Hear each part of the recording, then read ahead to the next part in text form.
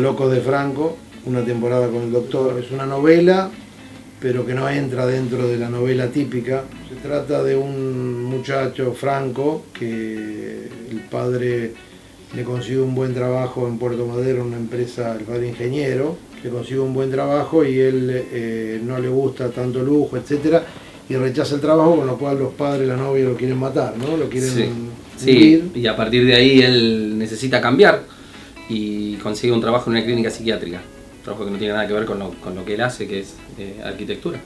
Y finalmente lo que sucede es que a partir de que ingresa en la clínica psiquiátrica empieza a conocer a los pacientes.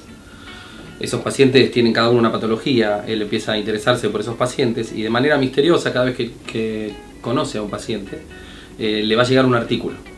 Un artículo que él no sabe quién se lo envía. Y ahí con ese artículo él conoce la patología y entiende el porqué de, de esos pacientes del estar ahí en la clínica. Entonces es una manera de ingresar en un mundo nuevo y, y tener explicaciones de ese mundo. Sí, los artículos, para que tengan una idea, que hablan sobre los casos que él ve o sobre conversaciones personales que tiene con el doctor, eh, se tratan sobre temas de psicología, de psiquiatría o temas de interés. Eh, también empieza a entablar una relación con el director de la clínica, que le dicen el doctor, que es un personaje bastante enigmático, pero que ayuda a los pacientes de una forma poco convencional.